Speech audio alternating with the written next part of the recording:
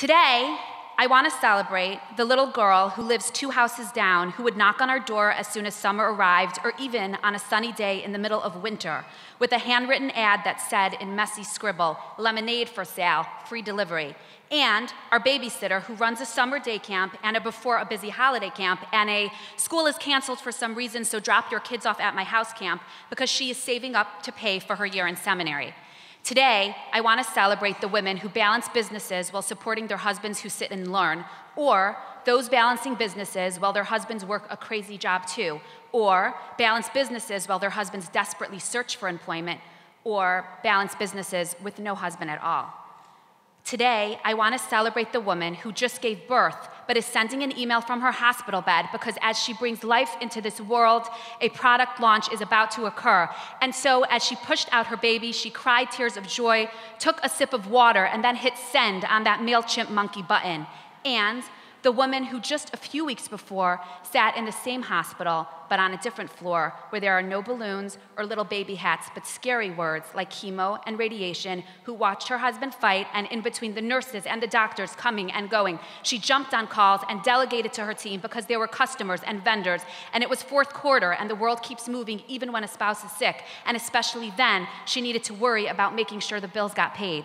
Today, I want to celebrate the woman who did carpool on Monday morning and then met with three clients, then ran to the dentist with child number one, then met four more clients and ran to do carpool for child number two, then dropped off child number three at basketball where she smiled and said hello to the other moms, and then ran back to the car so she could jump on a conference call, and it's not even dinner yet.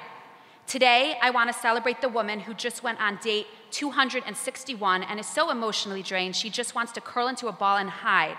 But instead, she has to run three more scripts and debug the app because the user functionality isn't where it should be. So she washes her face and goes into the office and powers through. Today, I want to celebrate the woman who failed a dozen times and has remortgaged her house twice, but kept trying and now just hired her fifth employee because one day something just clicked and she figured out how to pivot and how to make the numbers work, even though it meant swallowing her pride. Today, I want to celebrate the woman who completed a successful Series C round of funding, and when the investor had the chutzpah to say to her, How do we know that you're not just going to take this money and go shopping? She said, without missing a beat, I am. My friends are all outside in the limo, and we're heading straight from here to Barney's.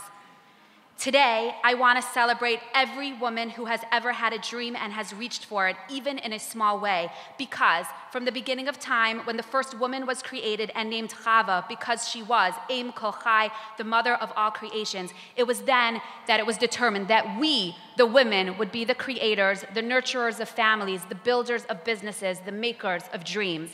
And like Miriam and the women who left Egypt with nothing but a toothbrush, but also somehow packed their instruments because they knew inside their bones, they knew there would be reason to dance and sing, and heck, you need instruments to do that.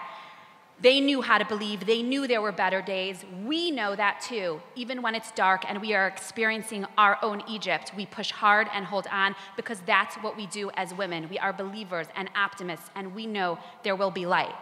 And like Hannah, who taught the Jewish people how to pray, we know what it means to storm the heavens and get stuff done. And we know we can't do it without him and like Sarah Schenirer, the greatest social entrepreneur of all, who made sure no matter what that Jewish women would have the magic of learning, even though that was something that had never been done before.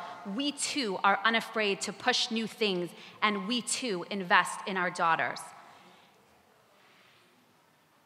We are all on our journey, and it is beautiful, but it is also complicated and messy and scary. But if you are in this room today, you have harnessed this power, this magic of being a Jewish woman, and you have used it in remarkable ways.